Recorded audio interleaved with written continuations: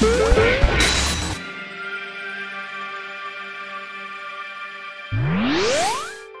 Unless you live off the grid in an entirely internetless existence, then it's hard to go more than a few minutes without seeing a trailer or ad for one upcoming video game or another. After all, AAA publishers have big marketing bucks to sell their big budget games, so it's not surprising that we players often find our social media feed saturated with the hottest new titles. Sadly, though, this often means we'll never get to hear about all the great indie games out there that generally rely on word of mouth to reach their audiences. Well, enough, says I. I'm sick of hearing about Elden Ring and the latest iteration of Skyrim. I want to see more representation for the little guys, those that may not have shouted the loudest but still have lots to offer. For this list, we're spotlighting the titles from the last couple of years that have got lost in all the noise, but that deserve a little more attention nonetheless. Come, little games, enjoy your moment in the sun. I'm the seldom celebrated Ashton from Triple Jump, and here are 10 recent video game hidden gems you might have missed. Number 10 Inscryption. Have you ever played a game of solitaire and thought to yourself, hmm, this is great, but I just wish there was more mortal peril? Then you might just have a fun time with Inscryption, the deck building roguelike developed by Daniel Mullins Games and published by Devolver Digital. The game follows vlogger Luke Carter as he attempts to escape from a cabin by playing a card game against a demonic force. The player must choose from an assortment of creature cards that will attack their opponent, and the overall aim is to do enough damage to tip the scales. There's obviously far more to it than that, as one may expect from a game played against a demon, but we don't have all day to explain the rules.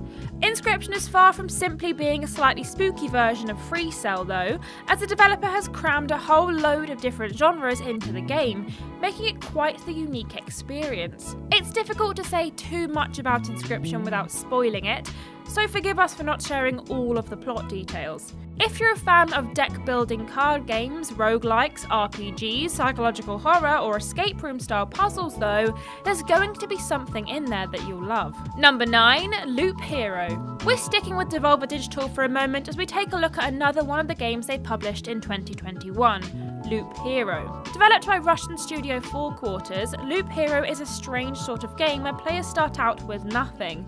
To clarify, that's not nothing in a sense of I have no weapons or armour, but rather in the sense that there's very little to the game and players have to build the world as they go. The hero starts out on a looping path, encountering enemies as they potter around. Defeating an enemy causes it to drop a landscape card, which can then be used to add new features to the map. Once the hero has completed a circuit around the map, players have the option to bank the resources they've collected or gamble on making it through another lap without dying. It's basically like the weakest link, only without having to put up with Anne Robinson calling you names if you get a bit too cocky and lose all of your hard earned loot. Loop Hero is an interesting combination of the deck building, roguelike, and idle genres, and though we can guarantee it won't be everyone's cup of tea, it's one that fans of any of the aforementioned game types will definitely appreciate. Number 8 Bloodroots. Not that he ever would, but if Quentin Tarantino were to create a hack and slash video game with a bright, colourful animation style of your average Cartoon Network show, then the result would probably be something akin to Bloodroots.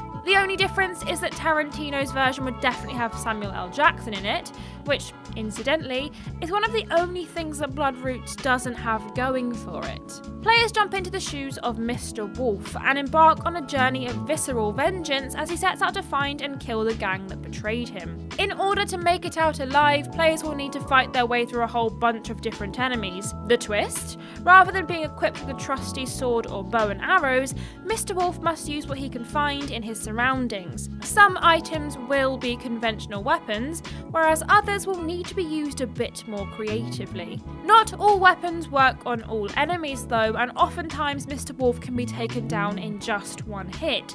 So it's up to players to figure out the best use of the items they have to strategically take down their adversaries. Bloodroots is bright, colourful, violent, and most of all, it's a bloody good time.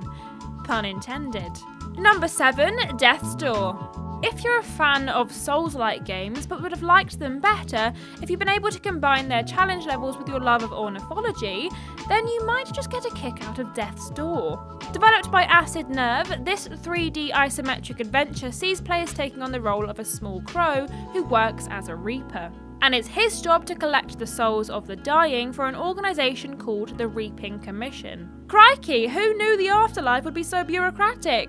Armed with just a sword and a bow, it's up to the crow to make his way through a number of different dungeons in order to uncover the truth behind the Reaping Commission's dealings. Many critics have likened Death's Door's aesthetic and difficulty to games like Dark Souls, though it is worth noting that the learning curve for Death's Door is a whole lot less punishing, so those looking for a Souls light experience might find a good place to start.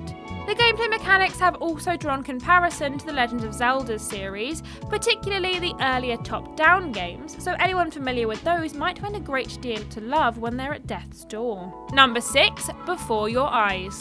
Over the years, there have been a lot of different ways to control our favourite titles. From humble joysticks and gamepads to high tech motion controls and VR systems, we really have seen it all. Or at least, we thought we had.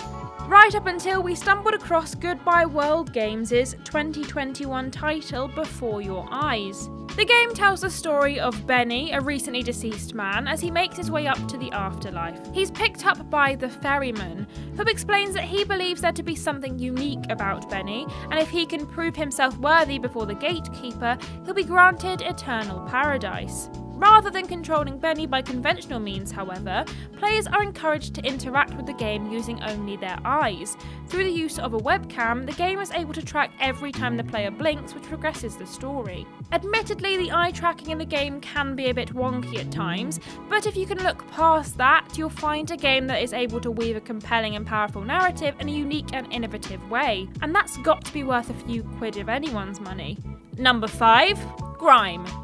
If you're looking for a recent game that's of the Metroidvania persuasion, with just a dash of Dark Souls thrown into the mix to spice things up a bit, then you could do worse than to have a bash at Grime. Or Grime! If you want to get weird stylization about it.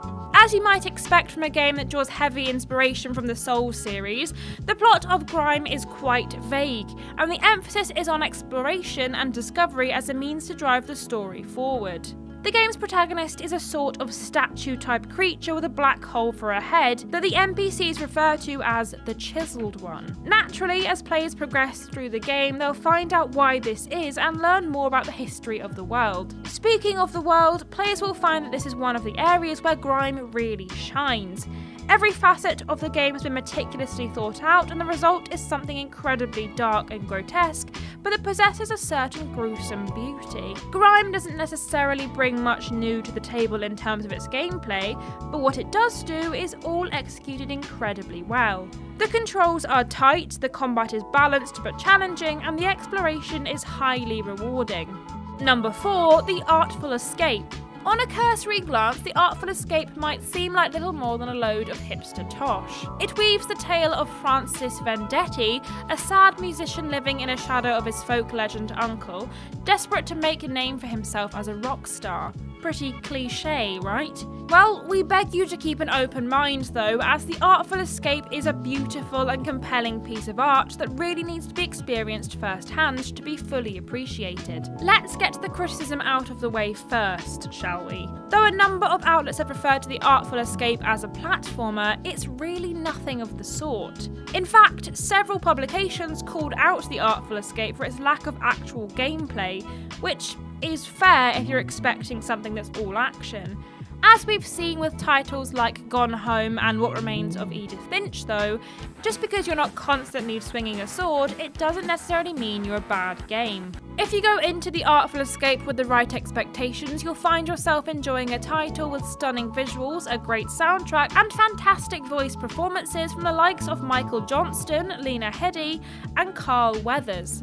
Number 3 Chicory, a colourful tale. In the past few years, there have been a number of video games whose sole purpose it is to bring little cheer to the world. Forget your Animal Crossings, your Stardew Valleys, and your Katamari Damacies though, because there's a new source of wholesome in town, baby.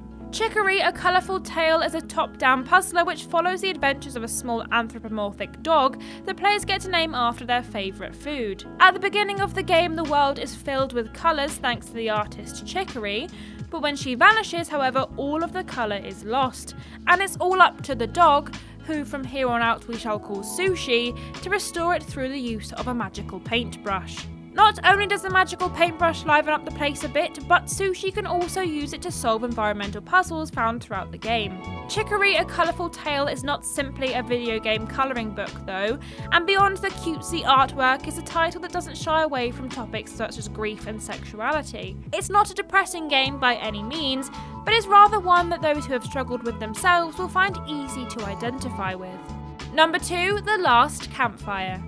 We've all had times in our lives where we felt a bit lost and without purpose, and how nice it would have been to have a creature like the last campfire's Ember to set us back on the right path. From the creators of No Man's Sky comes The Last Campfire, a lovely little puzzler released in 2020. Players assume the control of protagonist Ember, who is on a quest to find, you've guessed it, the last campfire. On his way, he comes across lost souls in need of salvation, and by solving puzzles, Ember is able to rescue them. The core gameplay mechanics are elegantly simple. Ember can walk, run, and pick up, pull, or push objects. You might think that with such a limited range, the game would become repetitive.